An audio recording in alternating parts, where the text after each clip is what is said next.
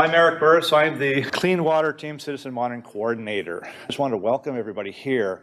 If you're doing citizen science, STEM, monitoring, you care about your community, your environment, wherever you're at, it's a, a large organization or an organization of one, we're going to provide some really good information today on how to get started, how to implement your program, how to do a little bit better job if you already are doing science. And if you're not going after data yourselves, a lot of the tools we're going to present will help you utilize other people's data to ask questions that are important to, to you, your neighbors, your watershed.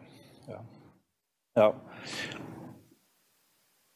my, my co-host today is Helen from the Watershed Project. She is also a representative for the uh, citizen science community on the California Water Quality Monitoring Council. So, Helen?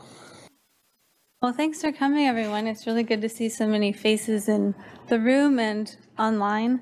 Um, so I, as Erick mentioned, I work with the Watershed Project in the Bay Area, and I, um, I started a water quality monitoring program over the last several years and in doing so, I've struggled through many of the issues that we'll be learning about today. And I believe that groups like ours, small water monitoring groups, have a lot to offer. And what we can offer is very important because we're intimately connected with the communities that we're working in.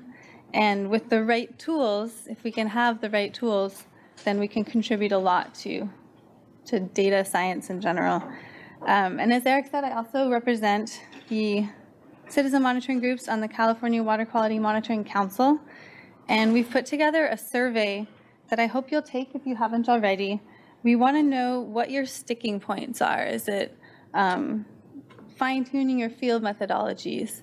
Is it putting together a quality assurance project plan?